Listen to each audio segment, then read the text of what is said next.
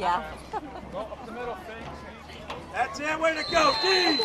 Quarterback keeper brought down first person on the tackle, number 42, Josh Arndt. Yeah.